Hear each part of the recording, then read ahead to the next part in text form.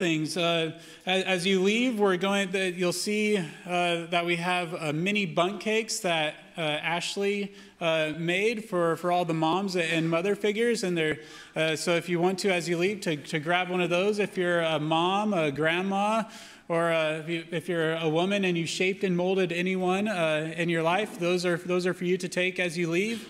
and then also at the end, we'll kind of do we'll, I'll, I'll have some fun little things for us to do, and three of three of the women will be taking home these hanging baskets in front, and uh, and I'll, I'll, decide how we're going to do that as we uh, as we go through. I have something written down here, but maybe that will change, right?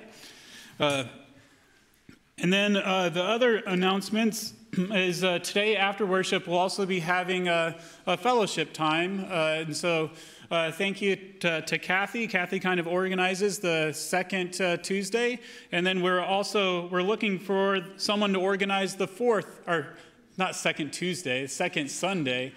Uh, we're looking for someone to organize the fourth Sunday, and so if you might be uh, wanting to do that, uh, uh, let us let us know, and we'll we'll put you down. and then also the the community food bank.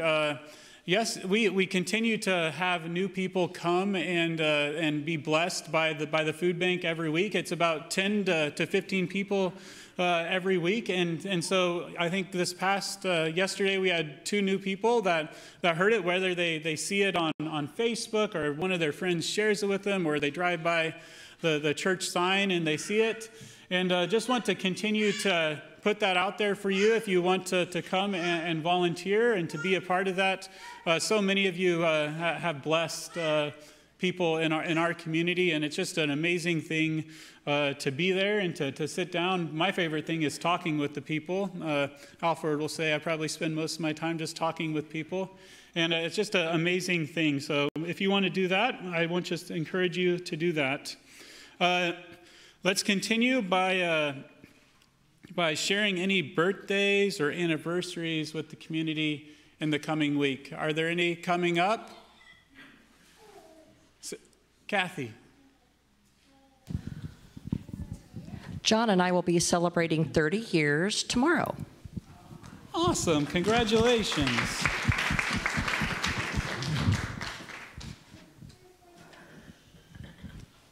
Are there any other birthdays or anniversaries? We have Joe and Jackson Bluebaugh. Their birthday is on the 11th, is what I have. Are there any announcements that people would want to share with the community?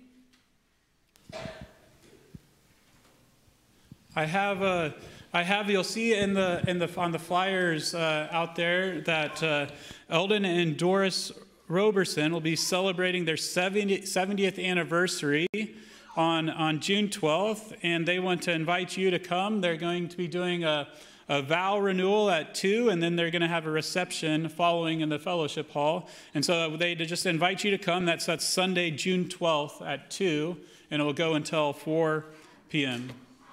Will you please join me in prayer? Holy Spirit, come and flood this place today.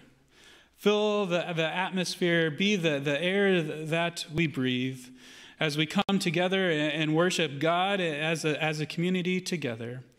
We pray this in your name. Amen. Let's stand and worship by singing the song Holy Ground.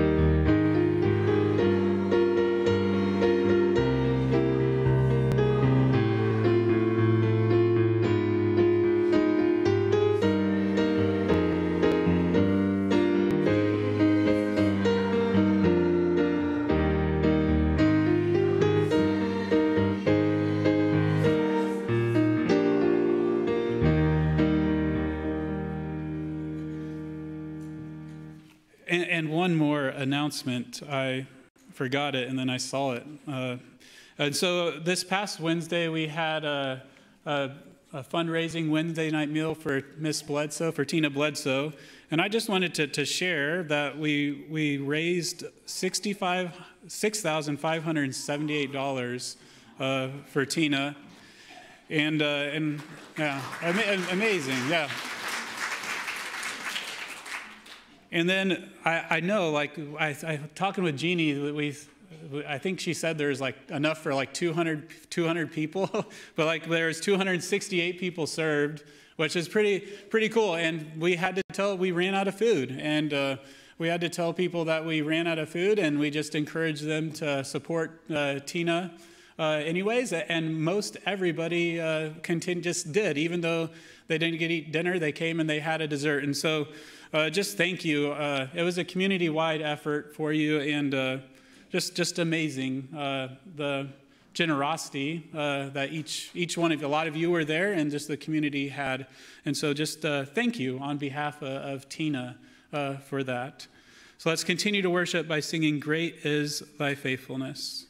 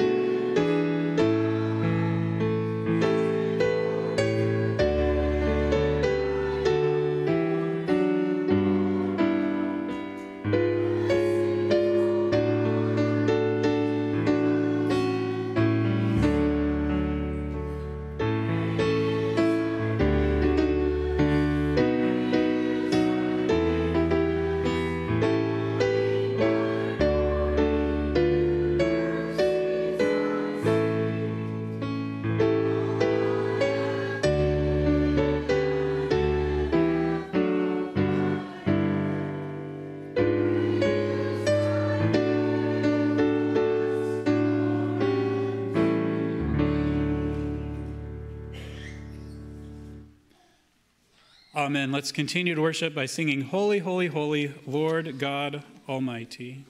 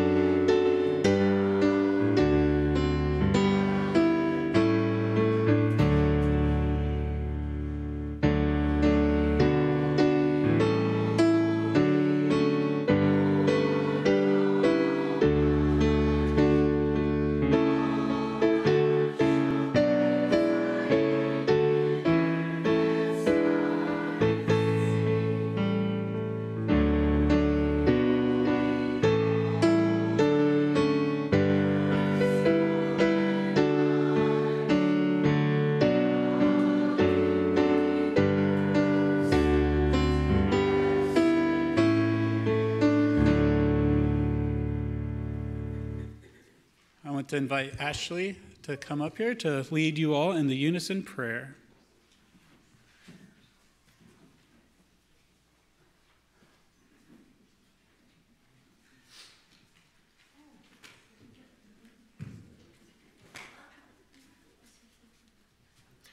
Ashley and crew.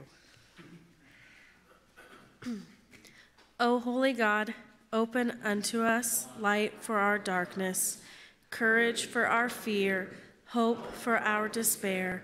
O loving God, open unto us wisdom for our confusion, forgiveness for our sins, love for our hate.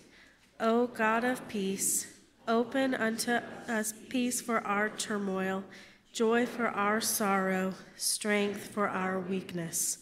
O generous God, open our hearts to receive all your gifts. Amen. You, may be seated, and let's continue in a, a time of prayer together. Uh, in this time, I want to invite you to uh, share any joys or any uh, prayer concerns that you might have uh, with the community so that we can uh, keep them in our prayers throughout the week? Um, I have one. My mother, um, Mary Haycock, has been on the prayer list for quite a while. Wednesday, she has a valve replacement, so um, appreciate you keeping her in her prayers. Absolutely. We'll keep Mary in our, our prayers, and especially on Wednesday. Are there any other prayer requests that people? Angela has one. I'd like to keep my friend Kim Smirchek in your prayers. I found out a few weeks ago that she has a tumor on her uh, pituitary gland, so they're pursuing uh, what they're going to do at this time. So should get this to the neurosurgeon on the 11th. We'll keep Kim in our prayers, Angela.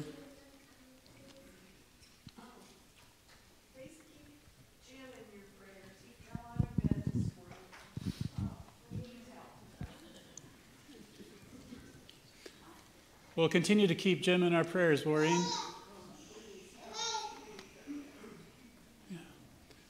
Uh, Francis has one.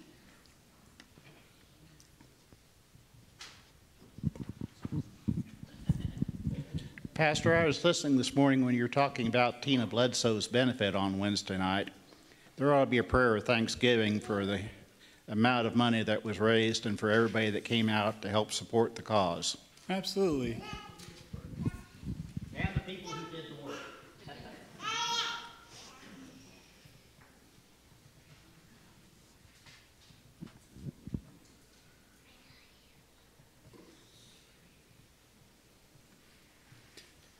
And then, uh, if there are there any other prayer requests that people would want to share with the community? All right, uh, let's continue to worship by uh, joining together in prayer. Oh God, as, as we come together to worship you today, we give thanks for uh, today. We give thanks for uh, the many women who ha- have shaped who we have become, whether it's our, our, our mothers or if it's, a, if it's a, another woman who had great influence in our lives. I'm, I'm sure that each of us can, can see and visualize all those that have impacted us in a tremendous way. God, we also uh, come and we realize that uh, for some of us, uh, today we, we grieve whether we grieve we grieve the loss of uh, the moms who have uh, who have passed away. We grieve uh, being unable to uh, be a mom. Uh, maybe we are, are, are, grieving as our, our, our, our, mom, we're not being able to be with our moms on today.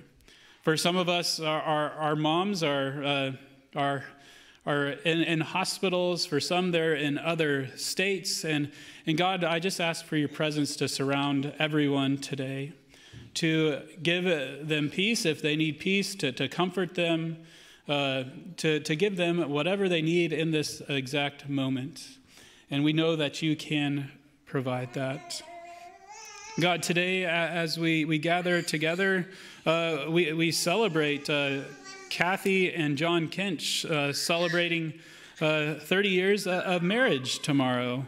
We, we come and, and we celebrate and, and offer our thanksgiving for the, the tremendous uh, amount of work that was done on Wednesday and, and the generosity of this community to support Tina. God, we, we ask that you surround uh, Mary Heacock and the, and the doctors who are, uh, will be providing her care on, on Wednesday. Uh, be with, with Andy as she sits and, and waits uh, as her mom is having this valve replacement. God, we, we pray for Angela's friend Kim that you lead and guide the, the medical team who will be uh, providing her care so that uh, they can, can do what is best for, for her body. God, we, we want to pause in this moment to offer up the, our own prayers that, are, that were, are on our hearts, but they uh, were not voiced as a community. So we pause in this moment to lift up those meditations to you now.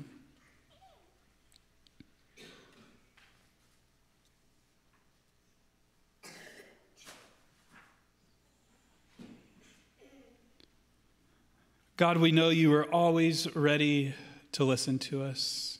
We know that you are, are always as near as our breath. And as we, we, we pray the prayer that you taught the disciples to pray, and as we dive deeper into that today, may it take up a profound residence in our hearts. That when we pray it, they are not just words spoken, but they are our words done and words practiced. So, God, right now, in this moment, we pray the words that Jesus taught his disciples to pray and teaches us to pray by praying Our Father, who art in heaven, hallowed be thy name. Thy kingdom come, thy will be done, on earth as it is in heaven. Give us this day our daily bread, and forgive us our trespasses as we forgive those who trespass against us. And lead us not into temptation, but deliver us from evil. For thine is the kingdom, and the power, and the glory forever. Amen. Please stand for the reading of Scripture.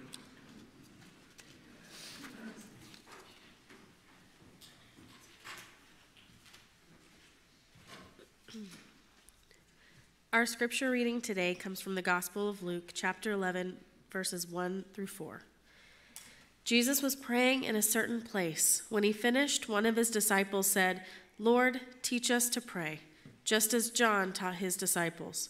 Jesus told them, When you pray, say, Father, uphold the holiness of your name, bring in your kingdom, give us the bread we need for today Forgive us our sins, for we also forgive everyone who has wronged us. And don't lead us into temptation. May God add a blessing to the reading, hearing, and understanding of God's word. Amen. You may be seated. And all the, the kiddos can go with uh, Kimberlyn to Sunday school. And uh, as, as they go, uh, each family is going to be getting a, a, a book from uh, a, a, pastor I learned a great deal of information about, about the, the Lord's Prayer and about what it means and explaining it to them in, uh, in words that they can relate to. And so, uh, so I encourage you to read that with, with your kids when you, when you go home, and uh, it'll be pretty, uh, pretty awesome learning experience, I think, for both you and, and them. Uh, and so as we dive into the Lord's Prayer, how many people do you think, if you had to guess, how many people do you think probably say the Lord's Prayer on any given weekend?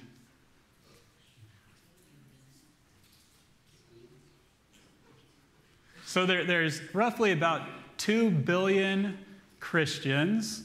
And so a Pew Research study said about 80% of people pray, and so, just like a, a, conservative estimate would probably be 1 billion people, half, half of Christians probably say this every single weekend.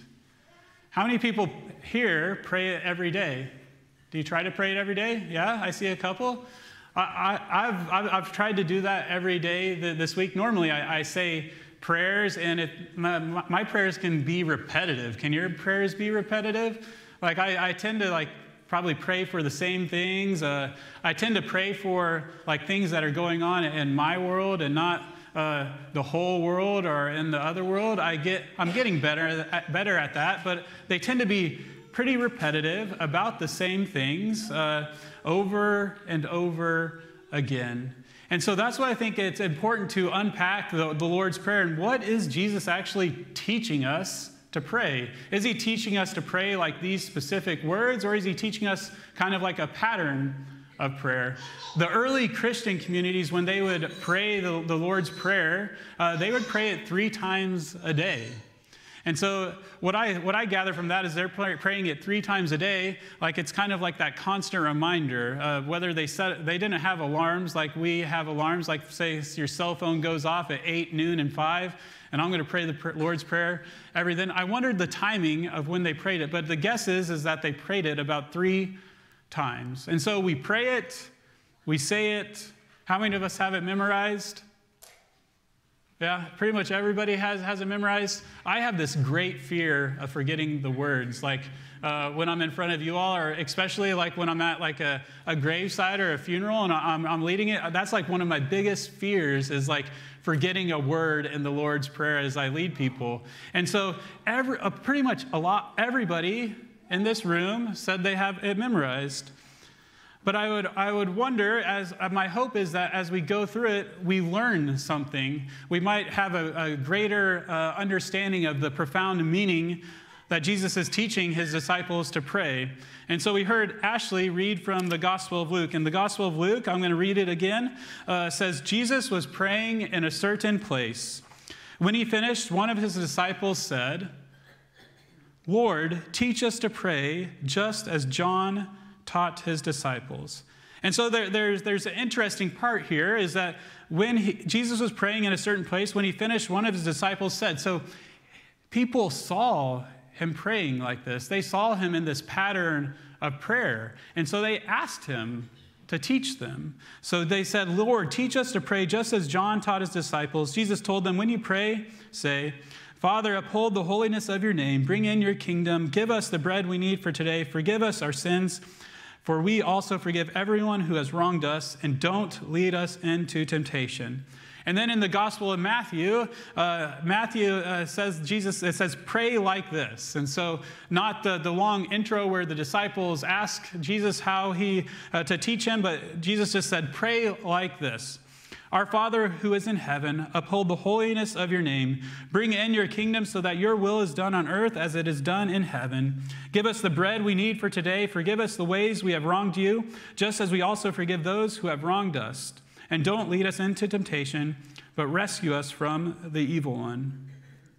And so, just here, the, the, the fact that, that Matthew and Luke both talk about Jesus praying the Lord's Prayer in different settings, so it's not in the same setting, suggests that Jesus taught this prayer often and frequently to the people who were following him.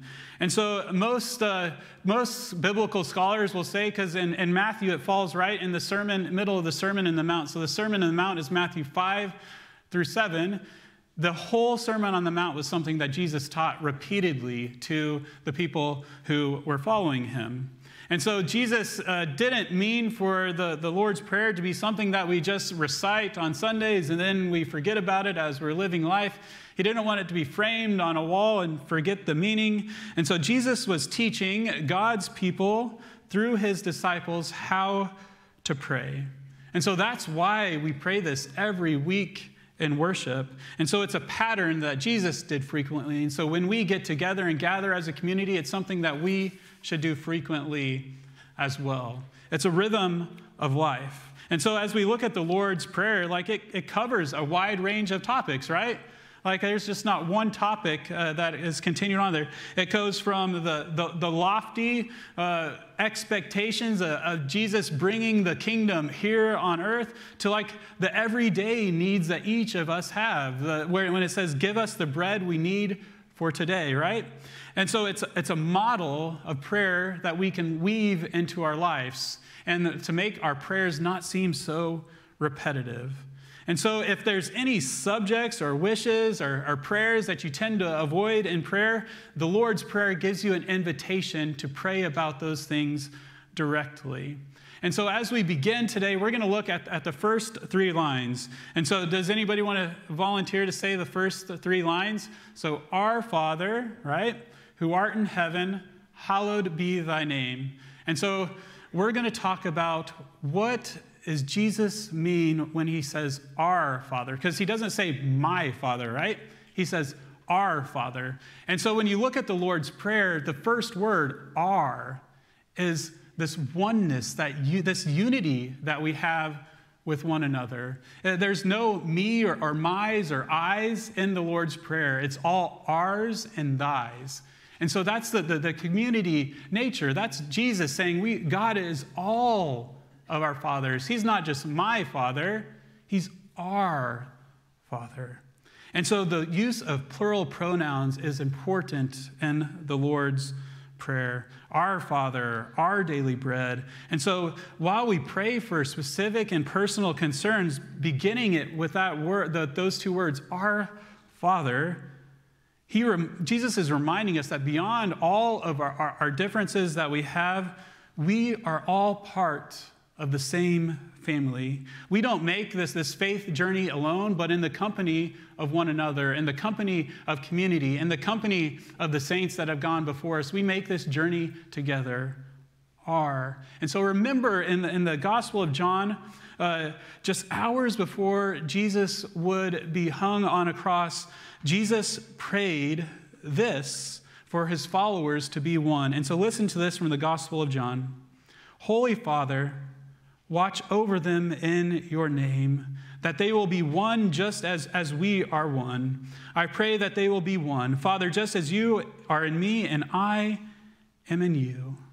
And so, in a, in a world that, that tends to focus like on what our differences are, right? Our, our world tends to focus like, I'm different from you because of this. And don't get me wrong, like being unique is, is, is important because God created us each uniquely.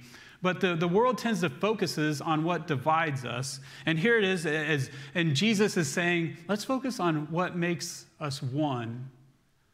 Our Father. And so the, the, words uh, for God in the Old Testament, uh, the words for God uh, were, were kind of meant to be the, these big words. They weren't specific, like they were El Shaddai, Elohim, Yahweh.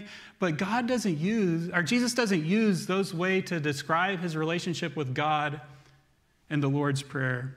He uses Abba. And that's a significant difference because Abba uh, means that it's something that's familiar or, or a uh, term for something that's important or an intimate relationship. And so I don't know about you, when I call my mother or my father, I don't say, hey, mother hey, Father, right?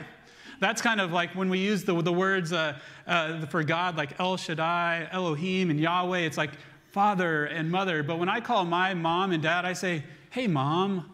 Like that mom and dad, it, it signals kind of like that intimate relationship, right? More intimate than mother and father, at least in my eyes, it, it does. And so God, uh, Jesus is saying that this is an intimate relationship. The, the Abba, when he uses the word Abba, this is an intimate relationship, something that uh, someone that knows him, him, very well. And so in prayer, and, and so Jesus and Paul often use this Aramaic word, and it's, and it's just unique. And, and Abba was a respectful but intimate way to address one's father. And so let's move on to, to who are art in heaven.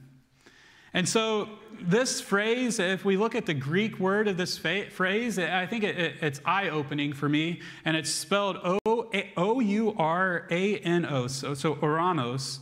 And so, uh, we typically think of heaven as like an unspecified location, usually like some kind of far away place, kind of like almost like a to the like Star Wars degree, right? Like on a galaxy far, far away, right? Like we tend to think of heaven in that in that way.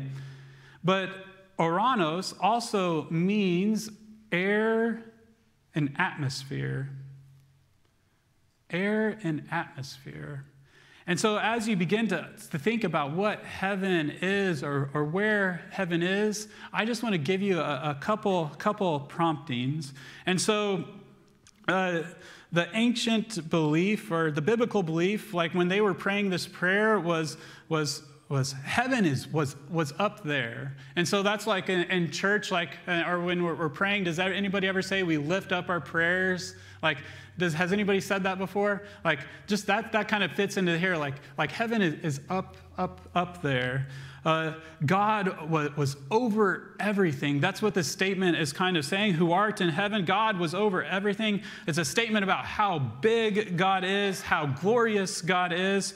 Uh, uh, you rule all over creation. It's a statement to the awesomeness of God. Uh, and, and so that word that goes with that is transcendence. And so transcendence means it's beyond anything we can perceive, visualize, or imagine. We can uh, imagine what, what heaven is like. I have books in my office, so uh, I help kind of help imagine what heaven is, and we don't really talk imagine heaven enough. But we, this word transcendence is it's even beyond anything we can imagine. And so we, the, the psalmists speak to this over and over. And one psalm, it's Psalm 119, says, Heaven is declaring God's glory. The sky is proclaiming his handiwork. One day gushes the news to the next, and one night informs another what needs to be known. Of course, there's no speech, no words. Their voices can't be heard, but their sound extends throughout the world. Their words reach to the ends of the earth transcendent, something beyond we can perceive, something beyond we can visualize, something beyond what we can imagine. But then Jesus is also saying, Who art in heaven, it also has this word immanence. So it's immanent and transcendent. And so, what does immanence mean? Immanence means it's a state of being inherent or exclusively existing within something. So, it, so we, all, we hear this and, in Genesis the Lord God formed human from the topsoil of the fertile land and blew life's breaths into his nostrils. The human came to life. So God is both transcendent beyond anything we can imagine, but also as immanent as the air that we breathe. And so God's, God's breath, it's, it's a Hebrew word called ruach. And it's all throughout the Bible. And it's about, it goes back to this, this, this, this understanding as the, that God is as close to us as the air we breathe. Think about that for a second as you breathe. Like God is as close to you as the air you breathe. And then there's hallowed be thy name. And first of all, I had to, I had to look up like what, what does to hollow something mean, right? Like I don't, uh, does anybody else use that word? I don't use that word. So what does hallowed be thy name mean? What does hollow mean? And so to hollow something is to make it, it holy or to, to revere it. And so it's the first request, right? And, and the, the Lord's Prayer is to hallow, hallowed be thy name. It's a, to make your name great, God, to make your name glorious. You notice it's not saying, Jesus could have easily, like, make, make my name glorious. Make, like, Jesus, I want to be glorified. So it's not to make his name glorified. So when you pray this prayer, it's not about us and, and to us receiving all the glory, it's for God receiving the glory, to glorify God's name. And so, oftentimes, and if you watch a, a, a, sporting event, you'll hear a lot of times athletes will say, like, right afterwards, they come up to him and they interview him and say, To God be the glory. Like, that fits right in this to not take the, the, the credit yourself, but to give God the glory in everything that you do. And so, it, it has, the, the, it's clothed in the, the, the thy in contrast to, to me or my. There's no me or my's in the prayers, there's only thy's. And so part of it is also upholding the holiness of God's name, right? And so that's one of that's I think that's the, the third third commandment is that we're not supposed to use God's name in vain. And so it's going back to uh, the Old Testament. Jesus is going back to the Old Testament. And, and Exodus uh, 27, to not use God's name in vain. And as I was thinking about this, I remember, like, how would, how would you feel if every time someone was mad or upset, they cried out your name? right? Like, like uh, I, it, was sometime this week, I can't remember which somebody did that, and uh, was, did something, or, oh God. Like, how would you feel if someone said, oh Jeannie, oh Lou, oh Dan, oh Gina, oh Jan? What, how would you feel if every time someone got upset or mad, they cried out your name, right? And so that's what it's speaking to. Hallowed be thy name, whole, be it, to, to make it holy and to revere it. And so don't use it in vain. Uh, don't drag God's name through the mud, someone said to me one time. Uh, and, don't, and don't misuse it. And so that's how we, we keep it holy and, and, revere it. And so as we, as we go through this, like I, I hope you, you learn something. I hope you uh, uh, pray this prayer every day. If you aren't praying it every day, maybe you, you pray it when we, we, we, wake up. If we pray it when we wake up as a community, you'll, you will be focused on the others, right? You'll be focused on the R and, and the thy and, and, not focused on the me's and the my's. And that's the, the hope of, the, of this prayer. Like as you continue to, to say it and to say it every day, is that the, the focus begins, your focus begins to be Jesus' focus. Your will tends to become more like Jesus' will. And, and so next week, we'll, we'll dive into the, the next couple verses in, in this, the next couple sentences in this. And we're kind of going to do it the, the, the, the, same way. We're going to take a, a, couple, couple phrases and un, unpack it. Uh, if you have a, a, couple phrases in the Lord's Prayer that you're saying, you know, when, when I say the Lord's Prayer, I've always wondered about this. What, the, what, the, what does this mean? Let me know. I, will include it. I'd love to, to dive into it. Uh, because it, I think it's as we understand and uh, unpack it, we learn how deep and profound it is. And so, if you have a, a kid in, in, Sunday school, ask them to say the first three lines uh, to you. I, I think they should be able to do that. But my hope is that, that everyone will, will have it memorized, everyone will, will learn it. If you get the book, I encourage you to read it to them. Uh, and so, that, there, there's that for the Lord's Prayer. And I believe as we pray this, it will be like God's kingdom will come and be more visualized here on earth, just like it is in heaven. Will you pray with me? God, we, we give you thanks for this, not only this, this model of prayer from Jesus, but the how to, to, to practice it, uh, the, the frequency and, and which we pray it, just the, the, the pattern of prayer life that He ha, has set before us. And as we, as we dive into the Bible and, and read Scripture, may we too ask the same questions that the disciples asked. Because we remember in, in the Gospel of Luke, one of the disciples saw Jesus doing this. Said, Hey, Jesus, Teach me to pray. God, open our, our ears, open our eyes, open our minds to what you are trying to teach us today. It is in your name we pray. Amen. And so now, as we continue to worship, we're going to do the, the offertory in doxology. And uh, I just wanted to, to share ye- yesterday one of, one, of the, one of the many things from the, the food bank uh, about uh, how, how you all are, are blessing people through uh, your generosity is uh,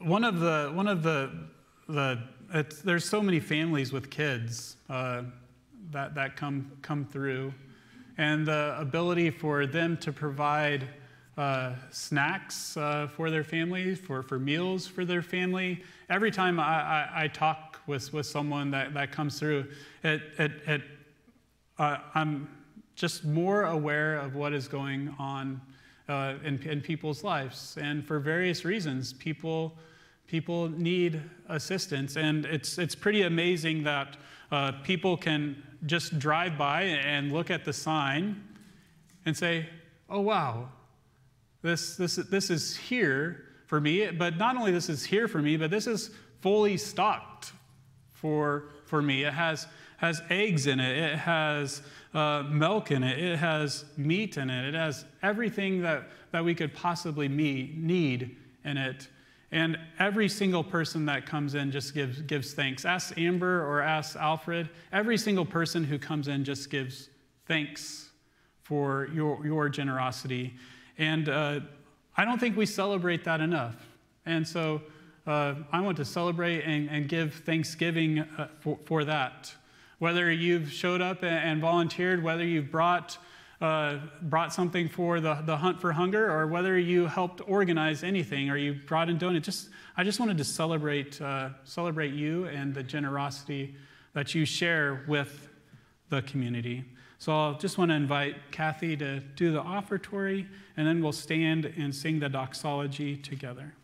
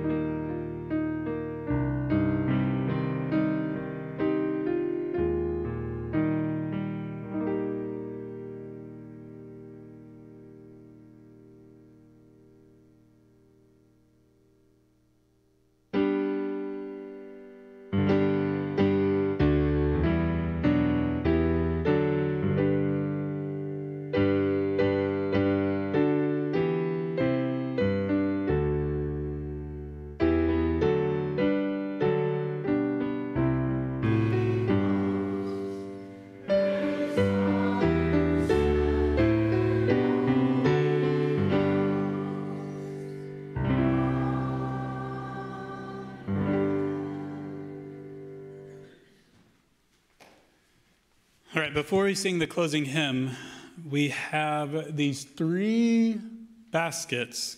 So I was wondering how, how to do this. Do we do it, give it to the oldest mom, the youngest mom, the mom with the most kids? And I, I think Gina would win, maybe win the mom with the most kids. I'm not sure. So let's start right there. Mom with the most kids. There you go. Yes, Doris. So Doris, Come up here and come up here and grab. Uh, it's all right. You're come up here and grab this, or maybe Angela or Eldon. Oh, you're perfect. You can you can have that. I, I you have seven kids today. Uh, maybe we have the next one. If anybody wants to admit the oldest mom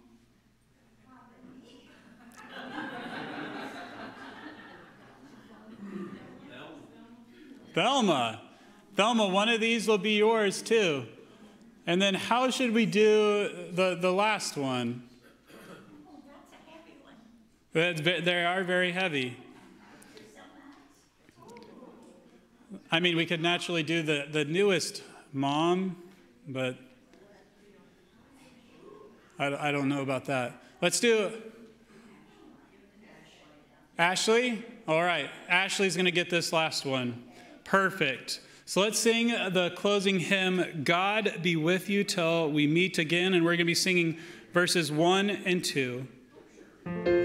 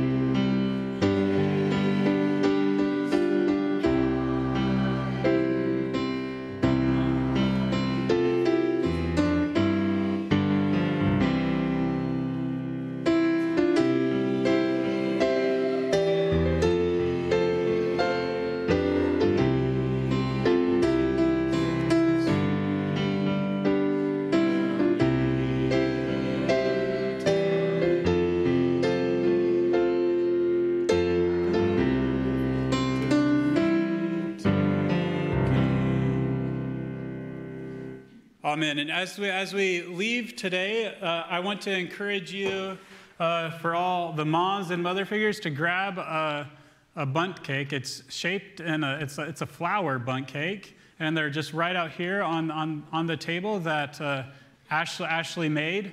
And so she just wants, she wants to bless you all, so they're just right out there.